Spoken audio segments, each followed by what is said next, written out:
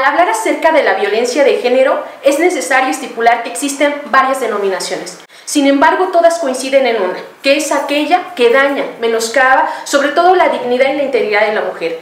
Esta puede ser desde lo psicológico, lo físico, lo emocional, lo laboral. Sin embargo, cuando hablamos de violencia de género, creemos que esto solamente surge o se da en ciertos espacios. Sin embargo, el día de hoy quiero hablar de uno de los espacios más importantes que debemos tomar en cuenta, y son las esferas de poder. Y es que pese a que se piense que las mujeres que tienen poder no sufren violencia, hoy nos encontramos ante una realidad.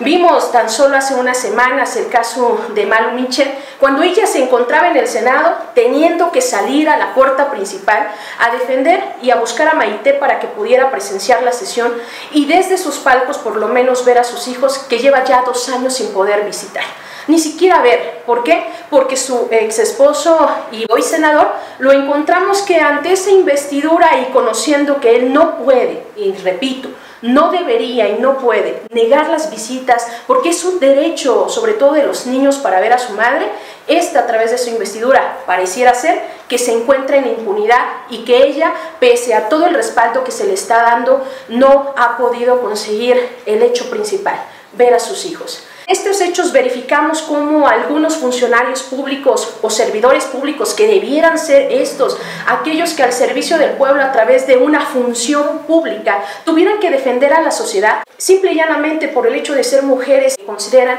que las mujeres no deberían ejercer. Esto es por citar alguno de los casos, pero en el estado de Tlaxcala lo vemos continuamente. En el caso que estamos viendo actualmente de Marlene Alonso Meneses, siendo comisionada presidenta, ella se encuentra en una esfera de poder y vive violencia de género.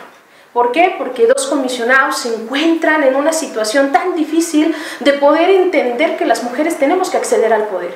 Se han valido de todo lo que se puede, las artimañas más comunes para poder hablar y denostar las capacidades que tiene una mujer, aun cuando ésta ya lo demostró a través de las convocatorias o trabajo.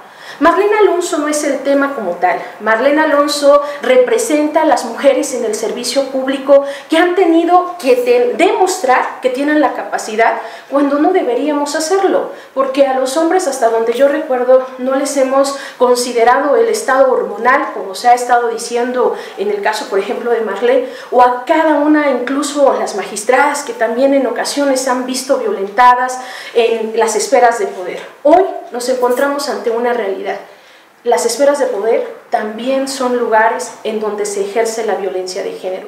Lo importante que tenemos que hacer hoy es que aquellas que se encuentran en esta esfera tengan que levantar la voz y entonces entender, ya no están en una fase de empoderamiento, ellas ya tienen poder, tienen que ejercerlo, tienen que exigirlo, pero sobre todo tienen que vivirlo.